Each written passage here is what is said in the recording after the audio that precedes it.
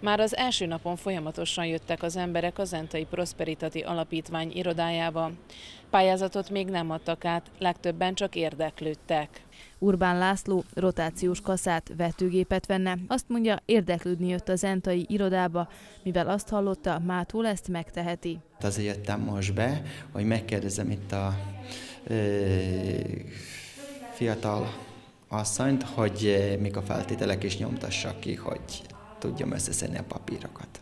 A felsőhegyi Szokola Ildikó is azért érkezett az irodába, hogy megtudja, milyen feltételek teljesítése szükséges a pályázáshoz. Hallottam, hogy megnyílt a Prosperitati-nak az irodája Zentán, és érdeklődni szeretnék, hogy az öntöröző rendszerhez milyen dokumentumok szükségesek, szeretnénk pályázni.